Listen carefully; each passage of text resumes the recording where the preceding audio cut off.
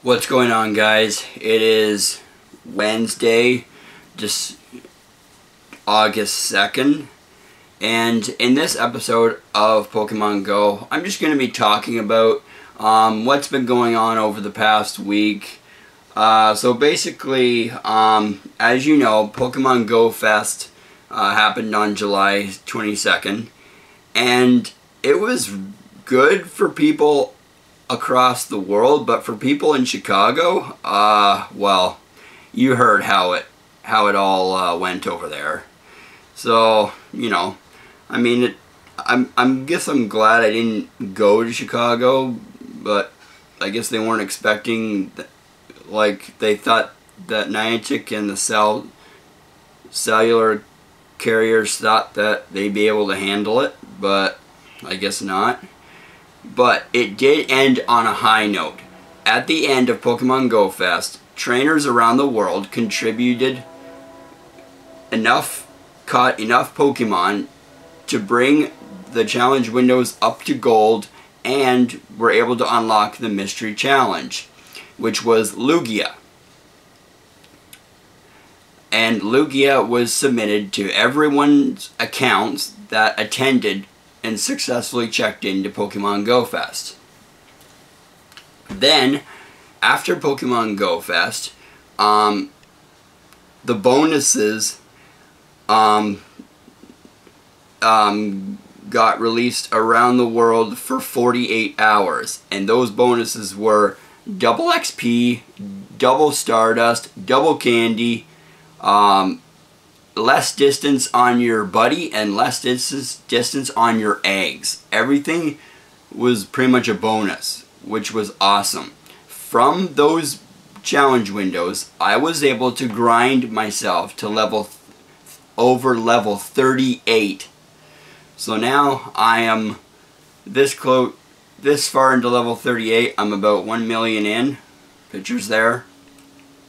And the reason I didn't record really is because basically I really wanted to take advantage of the whole event that went on throughout those 48 hours, like catching as many Pokemon as I could, uh, grinding XP, getting Stardust. I find it a lot harder to do when recording at the same time.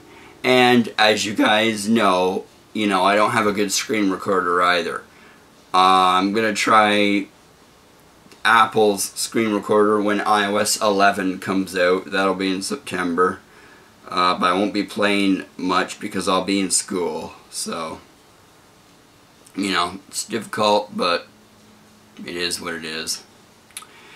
And also, from the aftermath of Pokemon Go, legendary raids have been appearing around the world as you guys know, Lugia and Articuno were introduced around the world um, on July 22nd. Now, I'm going to not talk about a lot about legendary Pokemon in this video. Um, I'm going to try and um, make that in a separate video, which will be coming very soon. But, yeah basically I just wanted to tell you what's been going on, you know, why I didn't really record all this week. And yeah, the main reason because I wanted to focus more on the game uh, than other stuff. Um, it was an extremely fun week. I'm sure people that did go to Pokemon Go Fest uh, had fun not because they weren't able to play the game, but because they were able to meet people there that are, you know, famous for playing the game. Like uh, Trainer Tips Nick, Reversal, uh, Twintendo, all those guys. You know, you meet a lot of pe people playing this game. And I, my experience from playing Pokemon Go um, over the past year uh, has been absolutely phenomenal. I have absolutely fallen in love with this game. It's been every it's been like I always do this in my spare time. And that's why reason what one of the reasons why I'm level 38 because you know, I've contributed to the game. I've contributed to my team and I'm really happy about that. And for for for me and my um, friends that live in Kingston, um, we had our own little Pokemon Go Fest um, downtown at Confederation Park. Uh, we had lures going on all day long. Uh, it was really exciting. Uh, and one of them even brought a cooler of water for all of us, which was very nice of her. And almost everybody in my city came down to the park and played Pokemon with lures going on. It was an amazing experience. We were able to catch lots. Uh, unfortunately, we couldn't really find out. We kind of knew when the challenge windows were for GoFest, but because they were having a lot of problems over there, um, you know, the first challenge window was a success, then the second got postponed, and then after that, the, the rest of the afternoon was really rocky, and, you know, they didn't have any challenge windows. But that didn't stop us. We just caught as many Pokemon as possible, um, regardless of type, um, and contribute. And the whole world was able to contribute enough that the legendaries were released, which I'm sure would have happened either way. So it was an amazing experience. Uh, and then over the past 48 hours after that event, I spent most of my time in Queen's campus university, uh, where you can catch lots of small Pokemon like Spinarak, Sentret, Pidgey, Rattata, um, and really grinded my XP. I had lots of candies that I used for evolving, and that's one of the reasons why is I was able to grind over 2 million XP, I believe. I was about half, almost halfway through level 37, and then when the event ended, I was 900,000 um, into level 38. So I believe that's almost 2 million XP.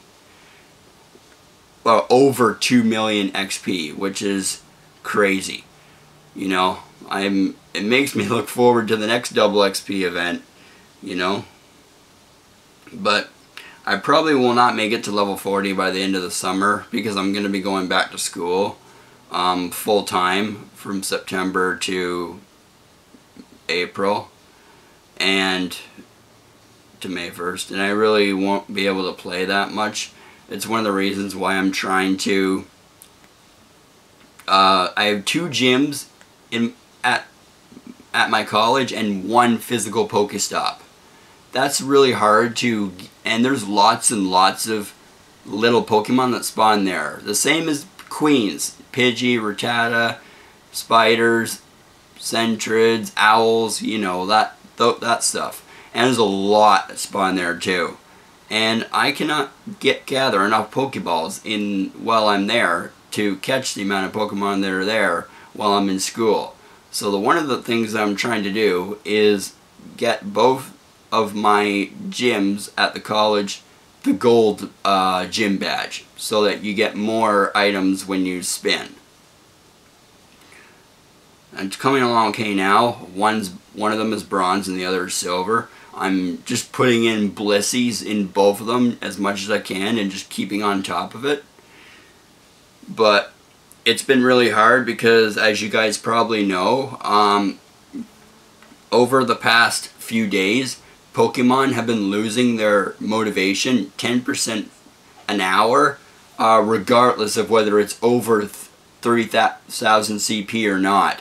And I'm not sure why that happened, but basically Niantic released an update, um, which included a fix for that, but I'm not really sure if they did or not because um, because it's still happening. So I'm not exactly sure if they fixed that, but basically I'm just going to go on to this page here and while I'm into this I'll read you the up the small update. Okay, so the updates for um, this update was for was came out a couple days ago uh, for both Android and iOS on July 29th. And um, game is in the process of being updated version blah blah blah for Android version blah blah blah for iOS devices and the the update notes are Spark has returned to appraise Pokemon for Team Instinct. Welcome back Spark. Hope you had a great vacation or wherever you were. Resolved a motivation decay bug impacting Pokemon with less than 3000 CP. Hmm, well I haven't seen evidence of that yet but uh, hopefully is fixed. Resolved a bug causing Pokemon Go to freeze after consuming potions too quickly. I'm not sure if I've encountered that or not. I'm not sure. Resolved a bug causing Pokemon Go to freeze after all six Pokemon faint during a raid battle. That I have experienced. And you know what? I think it, I experienced it yesterday. And after I installed this update. So Niantic, Niantic, did you fix it or not? And then resolved an issue causing causing iPhone 6 devices to crash. That's my phone, the iPhone 6, two years old. And yes, it has been crashing a lot. And I can tell you, uh, I'm actually used to it. Some people say to me, my god, Matt, are you like uh, like, how do you get used to that? And I just say to them, I don't know. yeah, it has been, and I think it still is. So, I don't know. You know, you you wonder when they release an update whether they actually fixed the things that they say they fixed or not.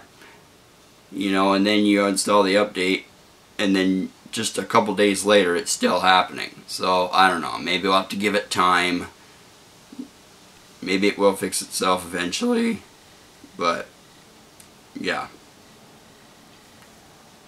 So that's the update.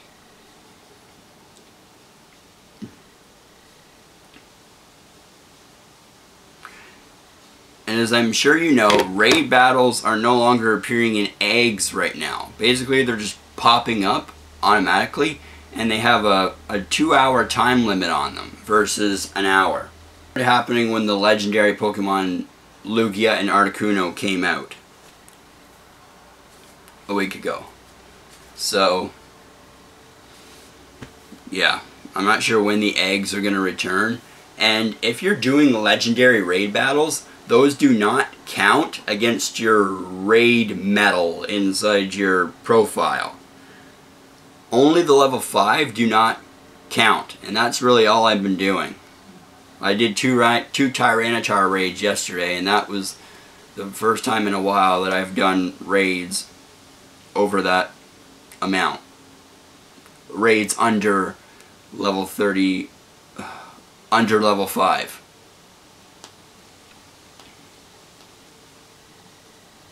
Anyway, so yeah. So I want to say end this video by saying just thank you to everybody who has supported me playing this game, all my friends in Kingston, and some of you on my channel. I know I don't have that many subscribers, but I want to thank everybody for who has supported me playing this game. I've absolutely loved playing it and will continue to do so. Eventually I'll get that level 40 soon.